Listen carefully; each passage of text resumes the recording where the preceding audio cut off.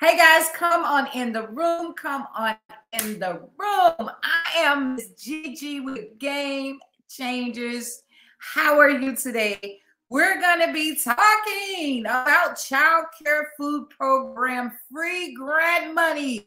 Go get that free money. If you're unfamiliar with a child care food program, uh, just let me tell you a little bit about it. It happens is on the federal level. So it's in every state, in every county, you have access to these funds. It does not matter. Let me repeat that. It does not matter how many children you have in your care. You can have one child in your care and have access to this free grant money. You can have 25, 100, 300. It does not matter the number of children you have. It is very easy to apply. It is very easy, great, great money to have supplement income, supplement money to have incoming into your daycare every month. And you get a check every single month. So let's talk about it. The first thing you need to do to get a part of this program, and again, it does not matter if you're in an apartment, it does not matter if you're in a group home, it does not matter if you're in your home doing daycare, or if you have a center. It does not matter. It does not matter if you have one, two, three, four, five, six kids. It does not matter. Your own children can go into this program and you can get reimbursed funds for their food. It is called the Child an adult food program. Google that. And let me actually put it up for you guys. It's called the Child and Adult Food Program. This is what you're going to Google to find out where it is in your state and who to contact. Now, let me tell you a little bit about how it's set up, and then we'll get into exactly what all they do because they actually do a lot. So, how it's set up is that in most cities, if you're living in a big city, they would usually involve a third party. So when you actually Google this information, it's going to give you the state um, website for the children and adult food program. When you call that number, find out if they have you going through a third person or if you can just sign up directly through them. You really want to use that third person if that third person is allowable in your county. So this is someone who has actually got their 501c, they're nonprofit, and they are in charge of collecting the information and distributing the funds every month if you're in in Nashville, Tennessee, uh, Bountiful Baskets is one of the most amazing ones. I've been working with them for years um, and a lot of them do get in trouble. Sometimes they get in trouble mismanaging money, and sometimes they get in trouble because there are a lot of people who are fraudulent when it comes to this because this money is so free and clear.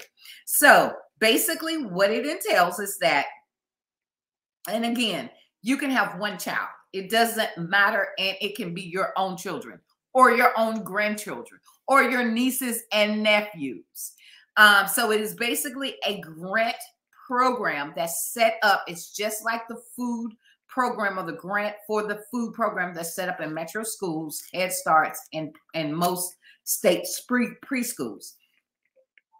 So, depending on the number of children you have, once you get the application and once you sign up and you become a provider, a provider, you do not have to be licensed some require you to be licensed. Uh, well, let me just say this none of them require you to be licensed, okay? But if you don't have a license, you in some states, you cannot claim no more than four children on your program, okay? And that's including your own. Well, actually, four total. In some states, you can uh, include four that are not yours and then add yours on. So it would be six or seven. But so depending on which state you're in, sometimes you can claim more than four. Uh, and then sometimes you can actually claim even six or seven being non licensed. Now, don't get me wrong. When these people come, they're, they're going to come and the first initial application, they're going to check your refrigerator for a thermometer. Easy peasy, right? You can go to the store pick up a refrigerator thermometer and get one for the freezer because they're going to check that too. They're going to make sure you have a simple, basic $9.99 first aid kit from Walmart. Simple, right? That's all you need. And they're going to make sure that you also have the little um, fire plug protectors on all of your sockets in your home. That's it. That is all they're looking for. Some states may look for a little bit more, but that is the bare minimum you would need to get started. That's the only thing you need to get started. When they come, they're just going to give you an application to fill out. You're going to fill that application out and they're going to leave you with a packet that you need to post in your home in your daycare and it just say that this particular facility is receiving a government grant for food program that's it. So what you're going to do is depending on the ages of the children you keep if your children have formula that's okay. You're going to get reimbursed for formula but you won't get reimbursed as much if that um, than when that child when that baby turns into a toddler and you're actually feeding the baby food. So they do require one thing that you keep a menu of the meals that you're serving and you sometimes have to show them the receipts from the milk you purchased and they want to make sure that you're serving your children from the the American uh, food pyramid. So you, they have certain things on the menu. They want you to serve meat, vegetables, and fruit. They have certain type of cereals that they want you to serve, whole grains, things of that nature. Easy peasy. But she's going to explain all of that when she comes out. And like I said, depending on the number of children you have in your home or that you're keeping, and you really don't even have to have a daycare established, you can just be keeping kids and get this money get this free check every month. And usually, say for instance, you're keeping the very minimum four kids. And usually that particular check is anywhere from four to five hundred to six hundred dollars a month free grant money. The more children you keep, of course, the larger that check can get. Uh, if you're in a home daycare, most of the time that check is going to be about twelve hundred to fifteen hundred dollars a month per child. I mean, per per provider. And so how they calculate that is they calculate a certain amount for the child's breakfast, a certain amount for the child's dinner, a lunch, and then a certain amount for the two snacks. So if you have children on your food program, so say for instance you have four kids in your your your center. We're going to keep the number low. Say for instance you have four kids in your center and two of your kids are after schoolers. Um, no, let's say, for instance, you have six kids and two of your kids are after schoolers and four of your children are there full time. I would put the four that's there full time on the food program and leave the two after schoolers off because with the four, you're going to get paid for breakfast, lunch, and two snacks. Okay. So you always want to make sure it makes sense and you're maximizing the amount of grant money you can get. All you have to do is give them a call and sign up and how it works is say, for instance, you signed up this month, which is February. So we're in the month of February. So um, you your food program actually won't start till March 1. And on March 1, all you're going to do is check your children present. They do want attendance, and you're just going to feed them off of a menu that you can make, or your, your providers sometimes generate menus for you, especially if you're going through a third party. And uh, if you want to substitute, like I don't serve any pork in any of my centers. so I substitute a lot of the pork out. You just cross out, put what you're going to substitute with it, and you're fine. You're good to go. So most times that they come by maybe every three months, every four months, sometimes every five months. It just depends on who your provider is and how many children you're servicing and if they've gotten any complaints off of you. So they don't really bother you a whole lot. You just have to make sure that you have in place milk and the menus when they do come. Because, say, for instance, they show up one particular day unannounced and you don't have milk well, then you won't get paid anything for that particular day because you're off schedule of what you need to have there. And they're probably going to tell you, look, we're going to come back, double check you, but just make sure you buy the children milk. And it's a certain type of milk. You can't serve whole milk. It's only going to be 2% milk after they get a certain age. So they have a certain food criteria that you have to follow. Nothing really, really hard. Very easy peasy. Once you get the hang of it, it's a snatch. And so every month you send in the number of children you've had that month, how many children was absent, how many children was not there. Now, what you don't want to do is because they know better. And this is a way to get you flagged.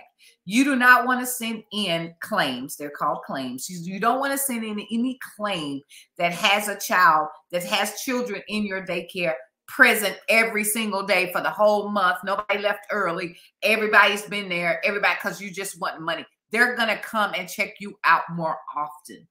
So always, and I think it's called a blank claim, where the whole, a blanket claim where everybody's been there all the time. And you know that's not the normal procedures of daycares sooner or later one child's going to be out and somebody's going to mix breakfast because they didn't get there in time things of that nature so just don't do not submit a blanket claim however you have to submit them some are electrical and some are the old-fashioned way you just check off and say for instance when you turn in in march the claim for february you will not get the check until march. So it goes from month to month. So from March 1st to the 31st of March, you won't get that check until April.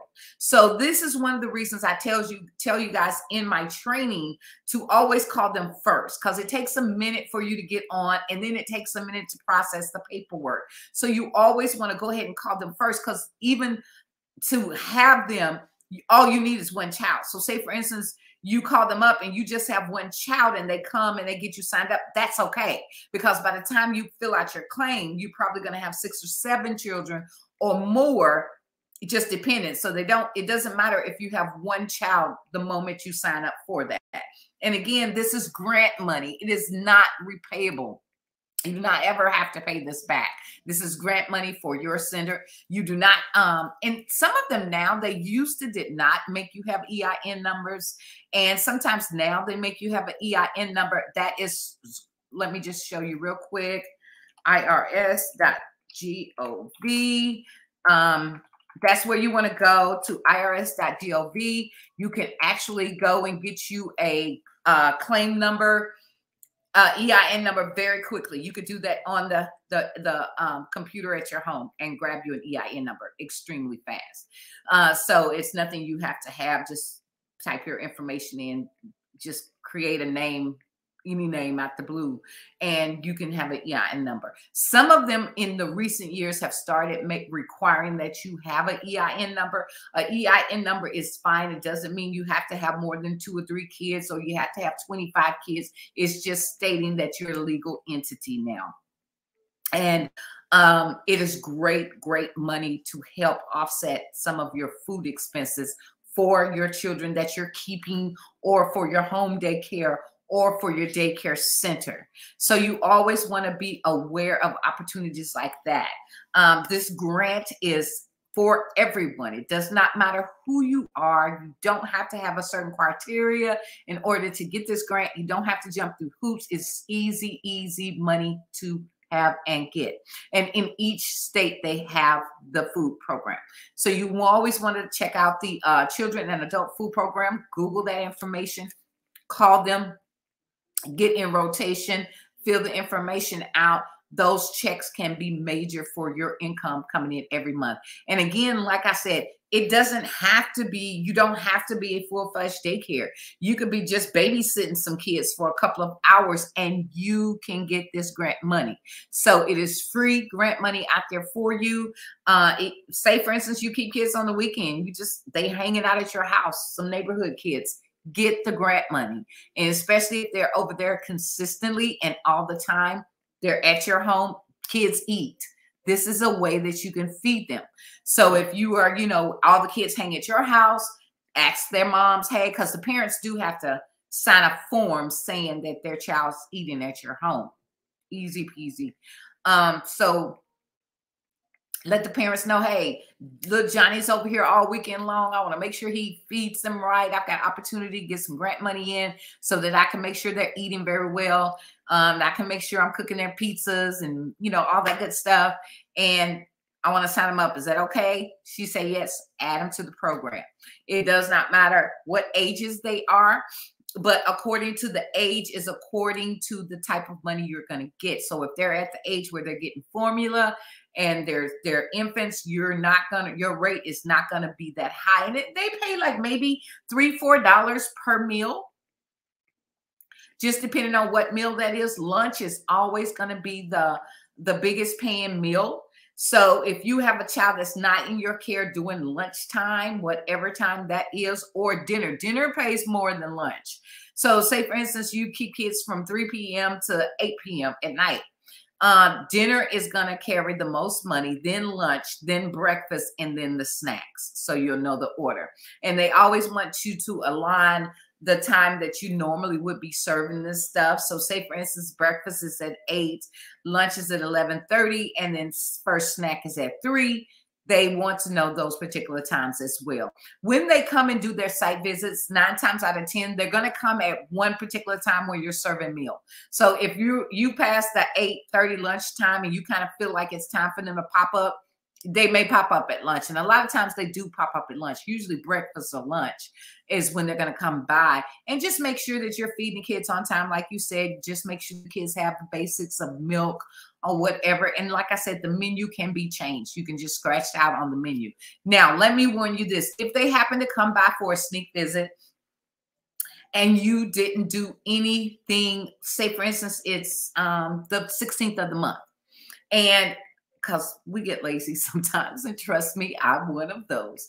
So, say for instance, it's the 16th of the month, and all month long, you have not signed one person in you haven't you know you you're you're anticipating going back and filling those claims out before you turn them in but it's the 16th of the month and you haven't got around to doing it yet and they're knocking at the door Woo!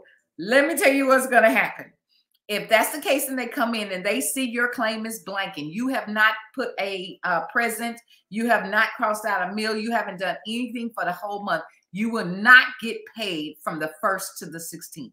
Okay.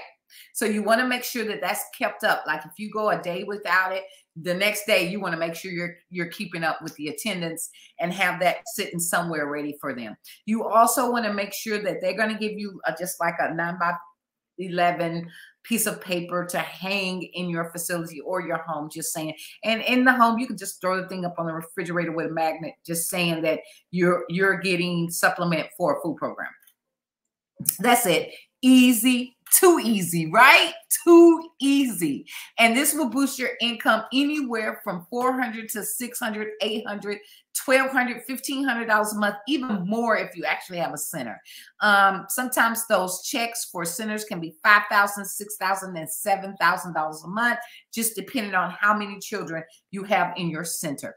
And let me tell you how this is based. So it doesn't matter um, it does matter where your location is for your center and your home.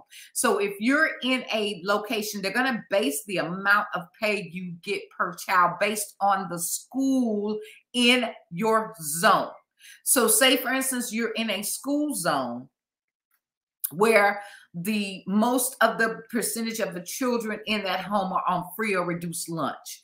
Then if you're in an area like that you're going to be in tier three which means you're going to get the maximum so say for instance you're a child care or you're keeping children in an area where most of the kids are not on free lunch most of the parents are above the medium of income and most of the parents you know they, they don't really you know need the free lunch you're going to get the minimum amount so your money may vary then but you still would get it. It just will not be as much as if you're in an area where most of the children in that particular area are on free or reduced lunch at the closest elementary school near you. So they're going to base it by the closest elementary school that is near you uh, what type of tier you would be as well. I hope this information helped you guys. Go ahead, sign up, get that free grant money, get that money. Have an amazing day, guys. I also want to put on here, remind you guys go to the website I have coaching sessions, I have courses, I have manuals you can purchase on how to open up and operate your own daycare flawlessly. I also have a curriculum if you're having trouble, a curriculum that I produce myself. I'm so proud of. It's called Baba Black Sheep. So this is amazing curriculum. If you've been st struggling with a curriculum or didn't know what type of curriculum, it is way, way, way cheaper than some of these crazy people I hear wanting almost a thousand dollars for curriculum. No, ma'am, we're not doing that easy peasy curriculum. And I think it's actually under $300 that takes you through an entire year. It also has a resource book with it. So there's a book full of all you got to do is take photos of it and pass them out. so guys, have an amazing day. Um, hit me up with questions. If you have any questions, go get that free grant money. Talk to you guys later.